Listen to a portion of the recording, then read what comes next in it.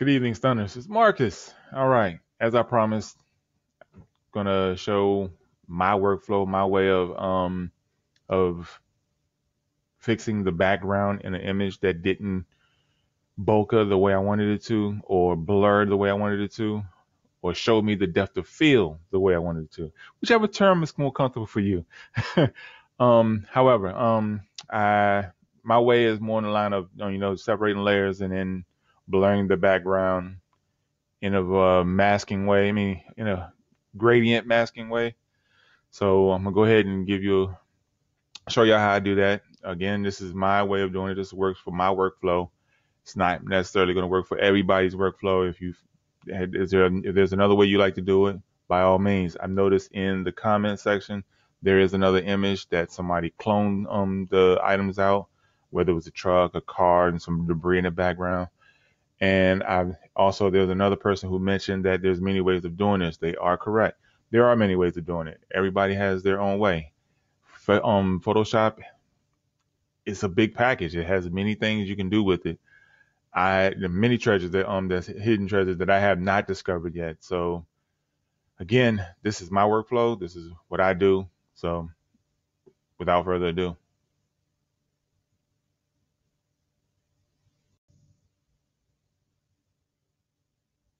All right, Stunners, here we go.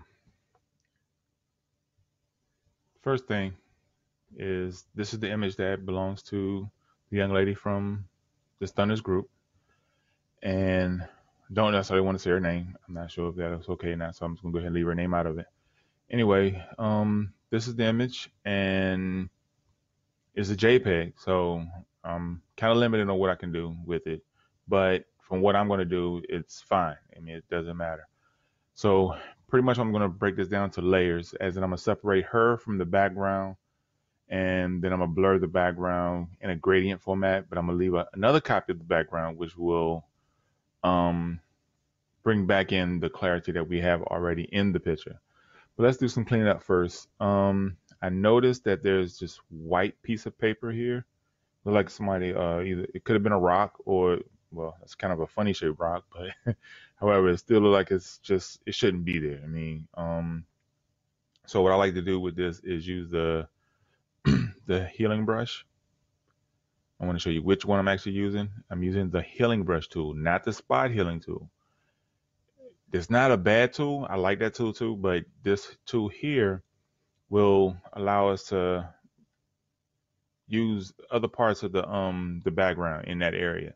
So for example, by me selecting it, I'm hitting alt, holding down the alt key and selecting this item here or selecting in this area and then going over this will kind of blend it in a little bit better than it just sitting.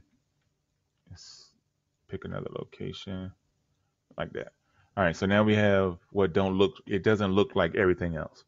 So that's that side. But as you can see, this glass is a reflection. It's a ref, it's not a see-through glass. This is actually a mirror type glass. So it's actually reflecting it over here as well. So we got to go up under her arm, which we want to stay kind of like in the same vicinity she's in, and then lightly adjust for that as well.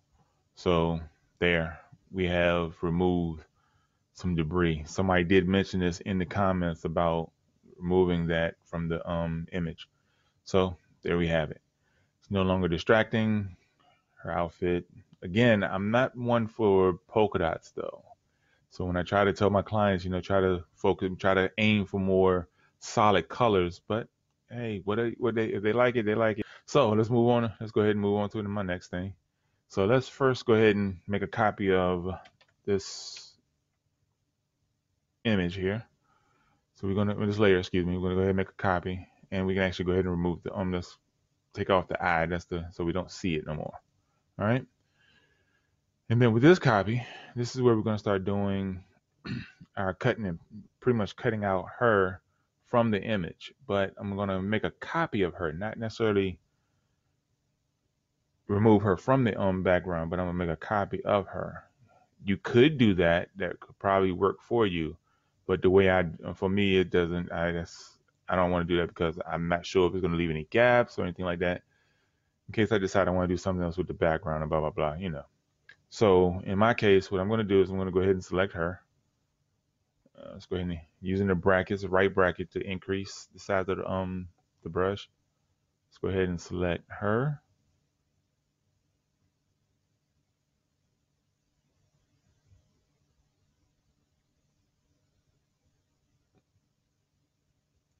And we're going to her arm, so let's reduce a little. All right.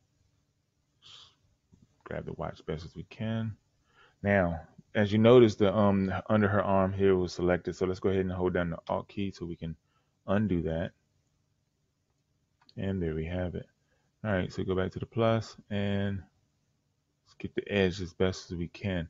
So again, this is not my photo, so I'm actually just doing this quickly as possible. We don't want to spend all day on it, but just to give you an understanding of what I'm doing or what I do is, like I said for my workflow, which works for me. And, and a lot of my customers has has liked what I've done with their image if I was able to save their image. So move down here at the bottom, make sure everything is selected, outstanding. So now from this point, we're going to go ahead and do the refine edge. I mean, I'm pretty sure everybody's familiar with the fine edge. I hope.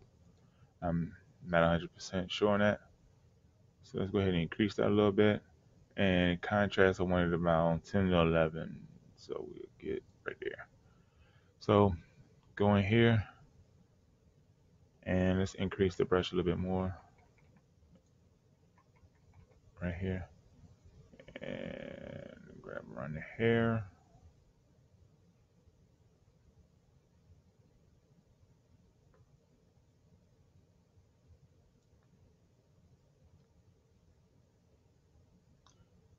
Okay, I don't like that. But I can leave it because one, I'm not trying to do it. I'm not doing a perfect job here. I'm just giving an example of what I do. As much as the hair as possible. And also I want to get this um her, her bracelet here in this area. So let's get that to that looks good to me. So from here, this is where we're going to go ahead and start doing our separating of layers. So as you know, since I masked this, once I um decam decaminate the colors, it's going to ask me, do I want it in a um, new lower, excuse me, new new layer with layer mask, or does one new layer? Well, in my case, I want a new layer. So let's select that and then hit OK. So if you look over here in the layers group, now we have the new layer with just the subject. And if I remove the, if I take the eye off of that one, you can see the image is still there with the subject um, along with the background.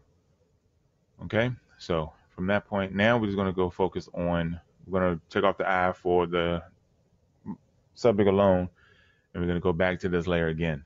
So now that we've done removed her from the layer, let's go up here to filter. And we want to go to blur, not, Gauss, not Gaussian blur, but lens blur. So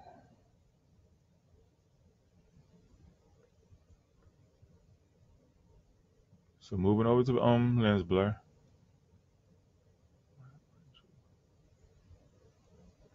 We're gonna take this and we're gonna I've already done this before, and these pretty much my settings. I use this same blur every single time for the most part.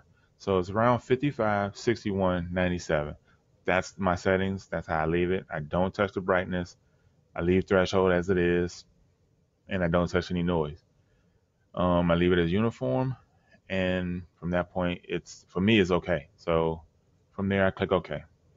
So now we want to go into this layer here. We want to um, change this layer. We're going to we want to make this a um, masking layer. I mean, excuse me. Uh, yes, a masking layer. I guess you could say. Um, but we want to we want to um bring it in with a gradient tool. So what we're going to do right now is we're going to go ahead and do a alt ma- um excuse me alt mask layer, which will do that and make it disappear. Um, we could use the background but like I said, I don't like playing with the background. So let's go ahead and make another copy of the background and turn that off. And let's name this um, clear background.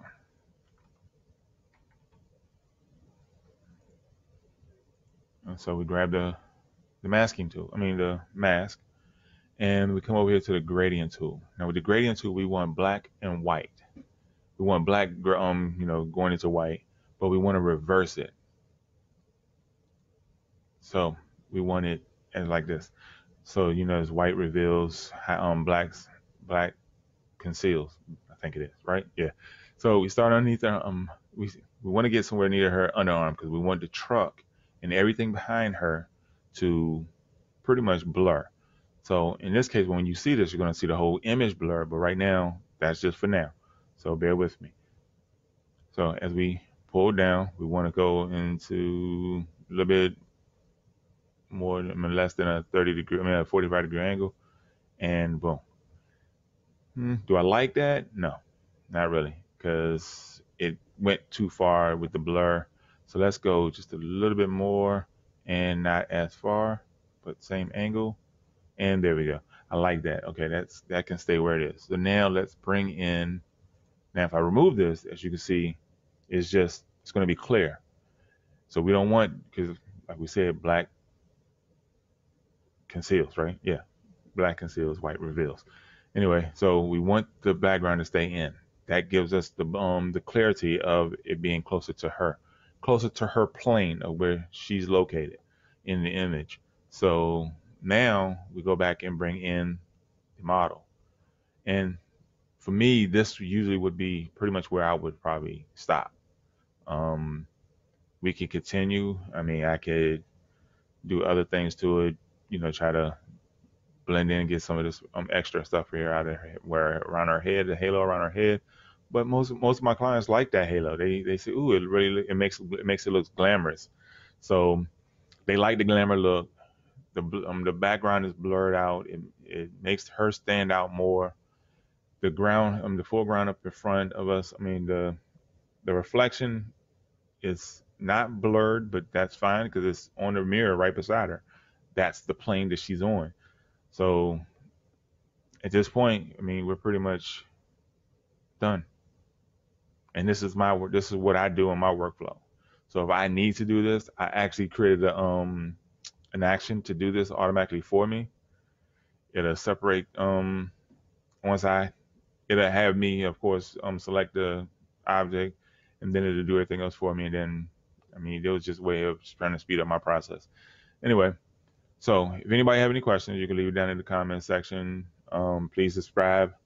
Also, if um, you have anything you want to um if you if anybody else have any questions they want to ask or have any problems you want to um that you feel like you want to share with me and see if I can help you with it I don't mind. I love researching um Photoshop. I love photo I love photography.